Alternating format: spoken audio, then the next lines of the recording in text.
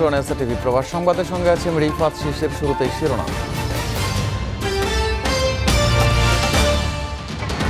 রপ্তানি ও বিনিয়োগ বাড়াতে অর্থনৈতিক কূটনীতির ওপর জোর দিয়েছে বাংলাদেশ, জানালেন পররাষ্ট্রমন্ত্রী, ইকোনমিক ডিপ্লোম্যাসি সপ্তাহের উদ্বোধন। আরব আমিরাতে পনেরো জুন থেকে পনেরো সেপ্টেম্বর, গ্রীষ্মের তিন মাস চলবে মধ্যাহ্ন কর্মবিরতি। আইন ভাঙলে মালিকের পঞ্চাশ হাজার ও শ্রমিকের পাঁচ হাজার দীর্ঘাম জরিমানা। করোনাকালে দেশে ফিরে আটকে পড়া একশো একষট্টি প্রবাসী বাংলাদেশির অনিশ্চয়তা কাটছে দেড় বছর পর। বাহরাইন সরকার অনুমতি দিয়েছে, আবার সে দেশের কাজে ফেরার। দেশের সমৃদ্ধির জন্য অর্থনৈতিক কূটনীতির ওপর জোর দিয়েছে পররাষ্ট্র মন্ত্রণালয়। বিদেশি বিনিয়োগ আকৃষ্ট, বাণিজ্য বৃদ্ধি, প্রযুক্তি হস্তান্তর সহ নানা বিষয়ে বেসরকারি খাতকে সরাসরি সহায়তা দিচ্ছে সরকার। ঢাকার ফরেন সার্ভিস একাডেমিতে ইকোনমিক ডিপ্লোম্যাসি উইকের উদ্বোধনী অনুষ্ঠানে এই কথা জানান পররাষ্ট্রমন্ত্রী ডক্টর এ কে আব্দুল মোমেন। প্রথমবারের মতো ইকোনমিক ডিপ্লোম্যাসি উইকের আয়োজন করে পররাষ্ট্র মন্ত্রণালয়। এতে মন্ত্রী বলেন ইউক্রেন রাশিয়া সংঘাত বুঝিয়েছে যে প্রতিটি বিষয় সবাইকে প্রভাবিত করে। তিনি জানান, বাংলাদেশের বর্তমান অর্থনীতির আকার প্রায় চারশো বিলিয়ন ডলার এবং বৈদেশিক মুদ্রার রিজার্ভের পরিমাণ প্রায় বিয়াল্লিশ বিলিয়ন ডলার। দেশের প্রবৃদ্ধি ধরে রাখতে হলে বৈশ্বিক ব্যবস্থার সঙ্গে সঙ্গতিপূর্ণ বেসরকারি খাত প্রয়োজন। তিনি বলেন, বর্তমানে একশো পঞ্চাশ কোটি ডলারের আইটি পণ্য বাংলাদেশ রপ্তানি করছে। এটি পাঁচশো কোটি ডলারে উন্নীত করার পরিকল্পনা রয়েছে। এই জন্য সরকারও বিনিয়োগ বাড়াচ্ছে বলে জানান পররাষ্ট্রমন্ত্রী। Honorable Prime Minister has outlined few roadmaps, and to help achieve those roadmaps, we have introduced two packages. One is known as economic diplomacy package, and the other is public diplomacy package. They reinforce each other. This event is indeed a timely initiative, also in the context that the global recovery from COVID is being made difficult by the Ukraine crisis. গত কয়েক বছরের ধারাবাহিকতায় এবারও সংযুক্ত আরব আমিরাতে আগামী পনেরো June থেকে পনেরো সেপ্টেম্বর পর্যন্ত তিন মাস গ্রীষ্মকালীন মধ্যাহ্ন কর্মবিরতি আইন চালু থাকবে তাপদাহের কারণে শ্রমিকদের জন্য গ্রীষ্মকালীন মধ্যাহ্ন কর্মবিরতি চালু করে সাফল্য পাচ্ছে দেশটির সরকার আমিরাতের মানব সম্পদ মন্ত্রণালয়ের দেয়া এক বিবৃতিতে জানানো হয় গ্রীষ্মকালের টানা তিন মাস দুপুর সাড়ে বারোটা থেকে বিকেল তিনটা পর্যন্ত বাইরে কোনো কাজ করা যাবে না। বিশেষ করে নির্মাণ শ্রমিক বা অফিসের বাইরে কাজ করার বিষয়ে এই নিষেধাজ্ঞা কার্যকর থাকবে। পাশাপাশি গ্রীষ্মকালীন মধ্যাহ্ন কর্মবিরতিতে শ্রমিকদের কর্মঘণ্টা কমে এলেও বেতন কাটা যাবে না, বরং পূর্ব নির্ধারিত মাসিক বেতন সম্পূর্ণ পরিশোধ করতে হবে। একই সঙ্গে এই আইন অমান্য করে কোনো শ্রমিককে দিয়ে ওই সময়ে কাজ করালে পঞ্চাশ হাজার দীর্ঘাম জরিমানা করা হবে। সংশ্লিষ্ট কোম্পানি বা প্রতিষ্ঠানকে। পাশাপাশি স্বেচ্ছায় আইন ভাঙলে শ্রমিকের জন্য রাখা হয়েছে পাঁচ হাজার দীর্ঘাম জরিমানার বিধান। জুন মাস থেকে দেশটিতে চল্লিশ থেকে পঞ্চাশ ডিগ্রি সেলসিয়াস পর্যন্ত তাপমাত্রা ওঠানামা করে। এই তাপদাহের মধ্যে কাজ করে শ্রমিকরা স্বাস্থ্য ঝুঁকিতে পড়ে। তাই শ্রমিকদের নিরাপত্তায় এই আইন কার্যকর করা হয়েছে বলে জানায় দেশটির মানব সম্পদ মন্ত্রণালয়। বর্তমানে আমিরাতে প্রায় দশ লাখ বাংলাদেশি বিভিন্ন পেশায় কর্মরত রয়েছেন। করোনাকালে দেশে ফিরে আটকে পড়া একশো একষট্টি প্রবাসী বাংলাদেশের ভাগ্য খুলতে যাচ্ছে। বাংলাদেশ দূতাবাসের প্রচেষ্টায় বাহরাইন সরকার এসব বাংলাদেশিকে সে দেশে ফেরার অনুমতি দিয়েছে।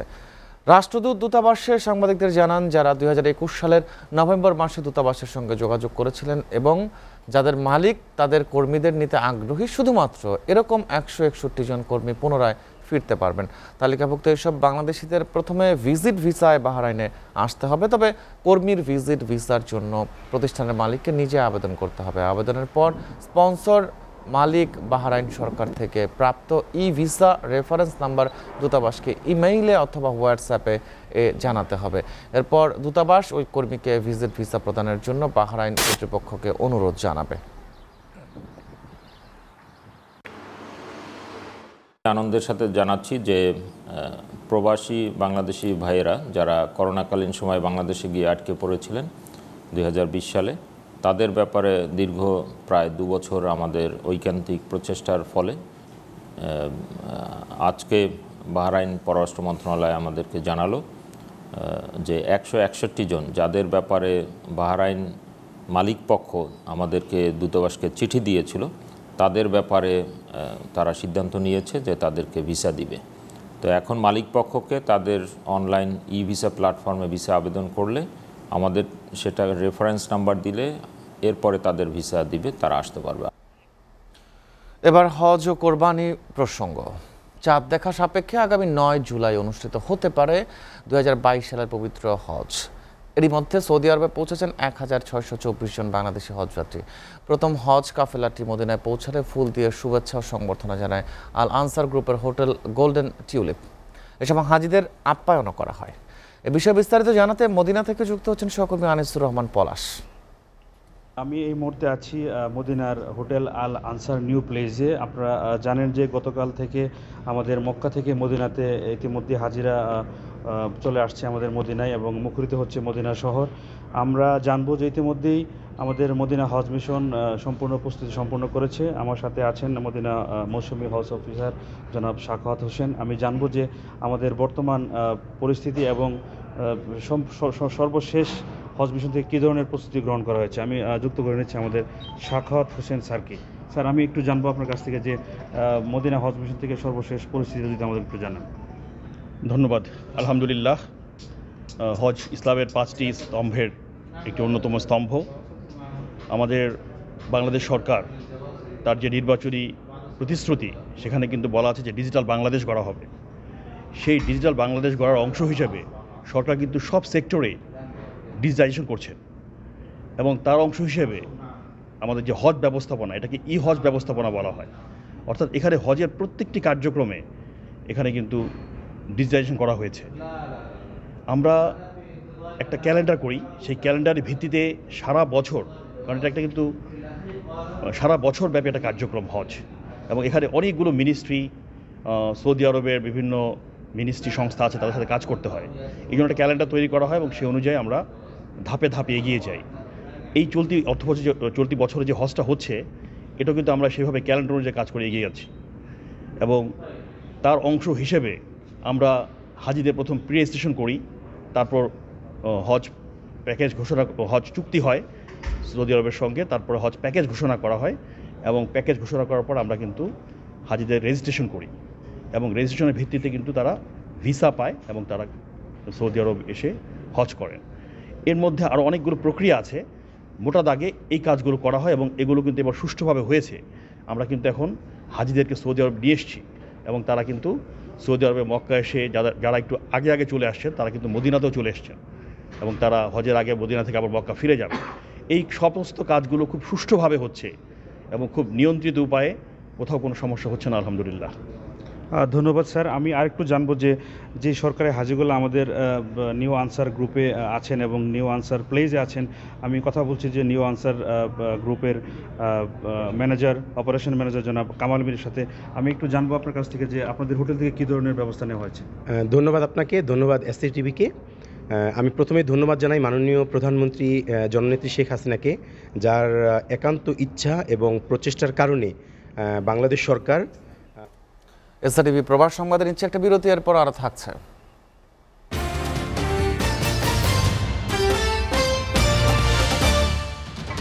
দক্ষিণ আফ্রিকা অপহৃত বাংলাদেশি ব্যবসায়ী আব্দুল মান্নানকে উদ্ধার এক পাকিস্তানি সহ পাঁচ জিম্বাবুয়ানকে আটক করেছে পুলিশ।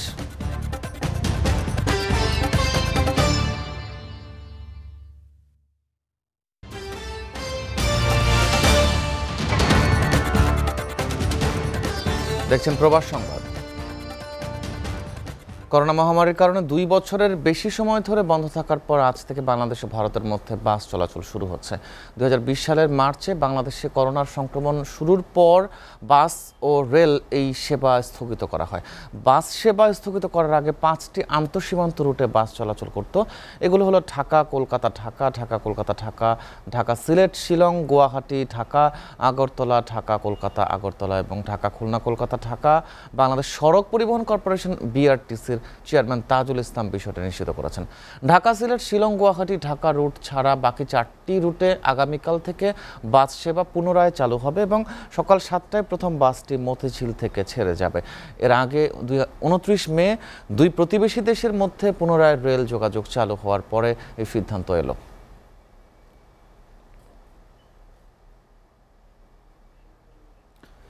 দক্ষিণ আফ্রিকায় অপহরণের শিকার হওয়া বাংলাদেশি ব্যবসায়ী আব্দুল মান্নানকে উদ্ধার করা হয়েছে।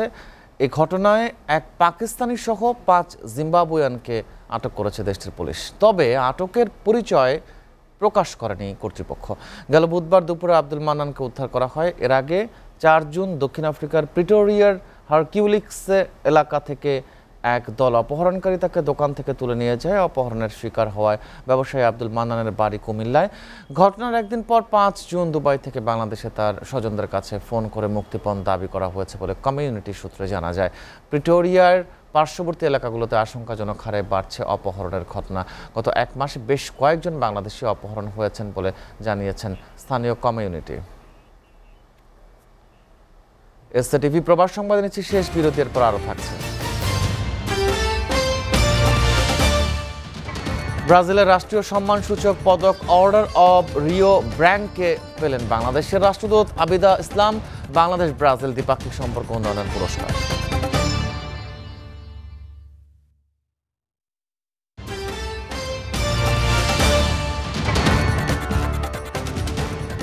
দেখছেন প্রবাস সংবাদ।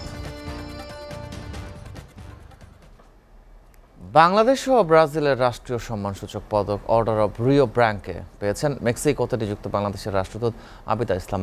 বাংলাদেশ ও ব্রাজিলের মধ্যে দ্বিপাক্ষিক সম্পর্ক উন্নয়নে অবদান রাখার জন্য তাকে এই পুরস্কার প্রদান করা হয়।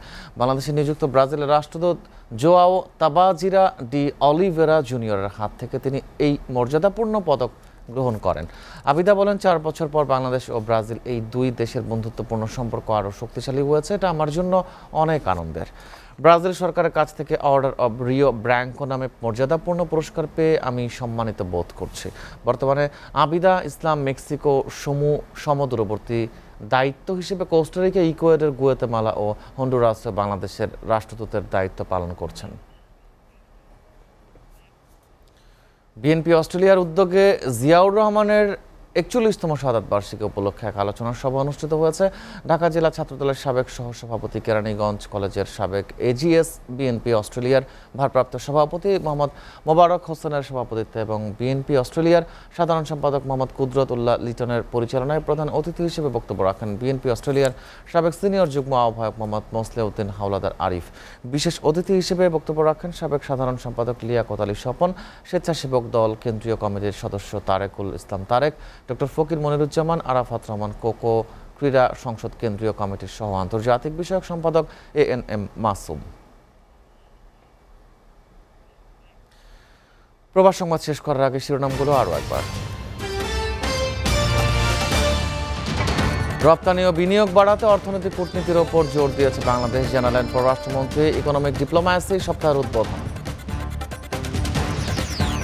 আরব আমিরাতে পনেরো থেকে পনেরো জুন থেকে পনেরো সেপ্টেম্বর গ্রীষ্মের তিন মাস চলবে মধ্যাহ্ন কর্মবিরতি। আইন ভাঙলে মালিকের পঞ্চাশ হাজার ও শ্রমিকের পাঁচ হাজার দীর্ঘাম জরিমানা। করোনাকালে দেশে ফিরে আটকে পড়া একশো একষট্টি প্রবাসী বাংলাদেশের অনিশ্চয়তা কাটছে বছর পর বাহরাইন সরকার অনুমতি দিয়েছে, আবার সে দেশের কাজে ফেরার।